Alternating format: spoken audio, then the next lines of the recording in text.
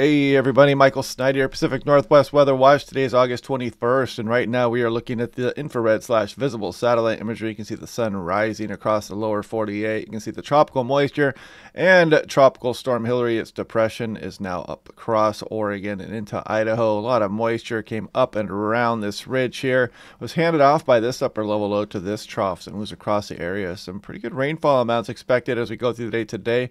Rain ongoing as we speak. We'll take a look at those details have some still some pretty good smoke covers across BC, Washington, and Oregon. And we'll take a quick look at that map here as well and some of the air quality coming up. You can kind of see that smoke drifting around BC into Washington. Got a little bit of a marine layer in here as well here. So kind of a combination of clouds and smoke there across some of the Seattle metro. But you can see the pretty extensive cloud cover as well as this tropical and subtropical moisture moves up over the region.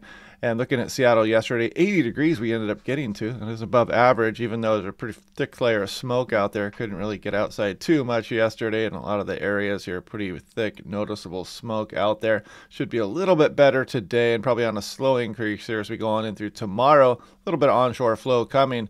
And if you want a nice, affordable home with that weather station, click on the link down below to save 10% off. Stores all the data for you in the cloud.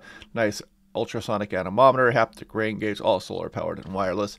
And if you are Austin R., Overseer Philip Whitehead, Piero Brewer, or Matt Winberry, please contact me. You guys have won one of these giant mugs. These are 20 ounce mugs. These things are huge and it fills you know, it allows me to fill it up all the way with my morning coffee here. I, I, don't, I don't like those little mugs. I like the big ones here, so you can add a little bit of creamer or whatever you want, some coconut milk or almond milk or whatever as well but yeah, if you are one of these people here, go ahead and contact me. And another thing, we will be giving away a couple of these mugs here too in a live stream coming up probably tomorrow.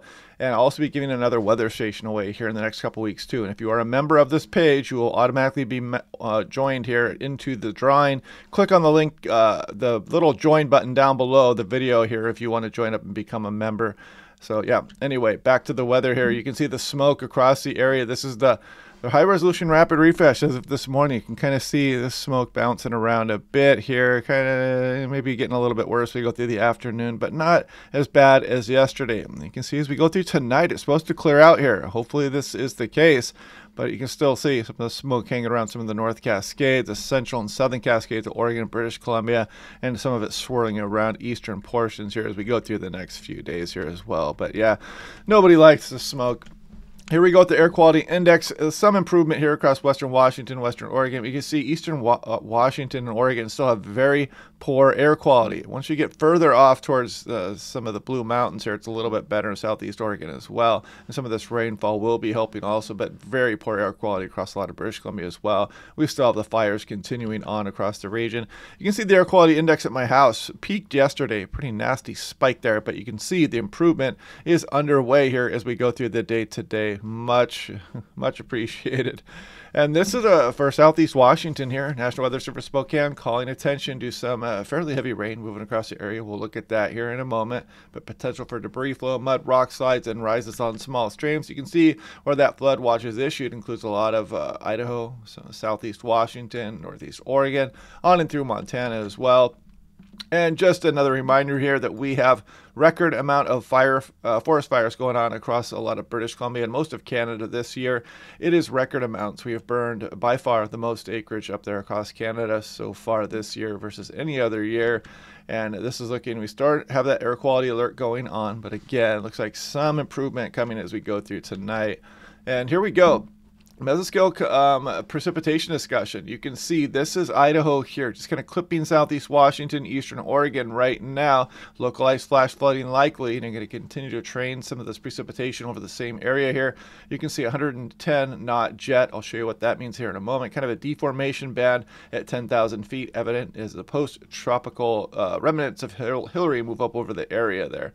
And what they mean by that at 10,000 feet you can kind of see there's a little bit of a back a uh, southeast flow here as well, brought some moisture into the region, helping to feed some of this rain. And then you can kind of see at 10,000 feet here, the wind, they call this the deformation band here, as this system moves up and across the region here, it kind of hangs out and brings some enhanced rainfall in this area. And you can see our upper level low as we go through the day tomorrow could bring some rain to western Washington. We'll look at that map here in a moment as well. This is looking at way up in the atmosphere, of the jet stream. You can see the big ridge out here to the right, and you can see the jet stream moving up across Oregon, Washington, Canadian border, all the way up into the provinces up there as well. Kind of highlighting the fact that we have the trough here, big ridge here, and all that tropical moisture moving up in between it. Now, this is looking at the big ridge across uh, the lower 48 here in the uh, tropical system here in the upper level low. We got our trough here coming across Pacific Northwest. We've put that into motion. You can see it moving down and swinging through the area as we go through the day tomorrow bringing some precipitation to the region here. Not a lot, but it is noticeable in some, and it will be kicking an onshore flow. And then we have the potential for going back to somewhat of an offshore flow as we go through the end of the week here. So that's something we'll be watching, of course, since there's so much smoke across a lot of British Columbia and eastern Washington, Oregon, the Cascades, any offshore flow will bring that smoke back down into the big metropolitan areas here. So we'll watch that closely over the next few days. This is looking at the thunderstorm outlook today, tomorrow, and the next day. You can kind of see that off through Spokane, Idaho, and Montana each day. And here we go with. Uh, the surface level flow, or just off the surface here, 2,500 feet. You can kind of see an onshore flow coming on in through tonight. This will be this evening about 8 o'clock, and you can kind of see an onshore flow going on across western Washington, Oregon. Not impressively strong, but it is there and that kind of weakens and gets a little bit squirrely tomorrow. But then we have the trough coming through and could bring some precip here because you kept kicking up the winds again here in eastern Washington. But then you'll see as we go on in through Thursday, kind of see that return of some of the offshore flow here. Not good for the potential of bringing smoke back into western portions here as well. So hopefully. Uh, I mean, it, it, happens at times here during the summer, and it might warm us up a bit here, but it's going to introduce some smoke back into the region. So, not the best news there. Sorry about that. And here we are with the European as well. We already kind of went over this, but just kind of showing you the big ridge over the center portion of the country here. And we'll scroll out here a bit more and just kind of see the trough dropping through. And you can kind of see that ridge. And that would bring that offshore flow. The low pressure would be here. You get higher pressure over the interior here and you try to bring it, that airflow back out there, which in case would bring some smoke over the region this kind of shows you the remnants there, Hilary, moving up over the area. You can see all this precipitable water, unusually moist, moving up across eastern Oregon into southwest East Washington, into Idaho and Montana as well as it continues to move across the ridge there. And then we get our trough rolling through here. Now let's take a look at precipitation amount amount here. Excuse me. This is last night's European run 06Z. You can see some of this very heavy rain across the Blue Mountains here, clipping Washington into Idaho and Montana. But look for tomorrow. Do you believe it? We might get some showers here across western Washington, up into the foothills, and better amounts up here across BC as well. Hopefully that can help with some of the fires out there also. And not a lot, but it's something. You know, you got to beggars can't be choosers. You got to take what you can get at this time of year, and then something kind of a little disturbance offshore here, maybe bring in a few additional showers across the region here as well. That's something we'll watch over the next few days. Also, this is looking at the NAM3 cam. We're looking at composite reflectivity. This is what the Doppler radar may look like as we go through the day today. You can continue to see this moderate rainfall here, and we'll have some thunderstorms probably develop here during the afternoon and evening hours across Idaho, Montana, Wyoming, and some of Oregon there as well. As we go through tomorrow, in fact, let's update that a little bit again here and let's see what those thunderstorms look like as we go on in through Tuesday as well. So here we go on to Tuesday morning. You can see some rainfall. This would be beneficial across eastern Washington here. Let's hope this comes to fruition. And as we go through the afternoon hours, you can see some of these stronger storms develop across portions of the Blue Mountains here, maybe uh, the Oregon Cascades. Can't rule out a thunderstorm there as well. Idaho, some stronger storms rolling across the area here as you can kind of see the spin in the atmosphere.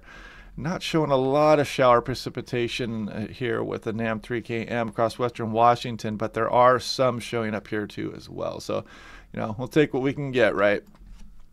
Now, taking a look here, this is looking at surface-based CAPE. Let's update this and make sure we have the most recent data here and we'll let this run through. This is kind of the fuel that can bring some of that thunderstorm activity. And really, Tuesday is what we're watching. Some stronger storms could be developing out here. It could be a little bit interesting here, bring some prolific lightning with it and some heavy rain on in through mainly Tuesday. And kind of see a little bit of instability here as well with the trough swinging through Vancouver Island, Western Washington as well on through tomorrow.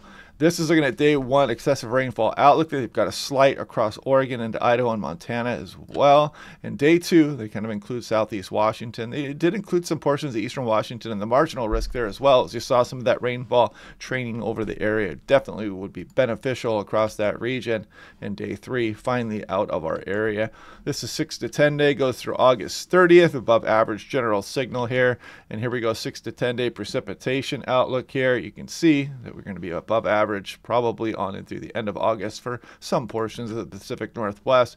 Looking at the temperature today, at least according to the National Blend of Models, 79, pretty similar to yesterday a little bit less smoke, and then we cool down a bit tomorrow, start getting some of that onshore flow and we start to bounce back a little bit as we go through Wednesday. And you can see by Thursday, Friday, we're warming up. We could potentially have some offshore flow going on and maybe dealing with some smoke here west of the Cascades into southwest BC again here as we go towards the weekend. But looks like a fairly warm weekend coming up here if we can avoid that smoke. We'll see how that goes and trends over the next few days.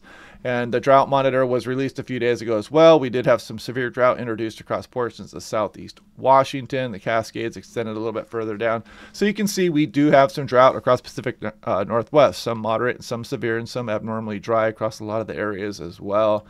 So anyway, yeah, that's what's going on here, folks. Upper level low brought that tropical storm up across California.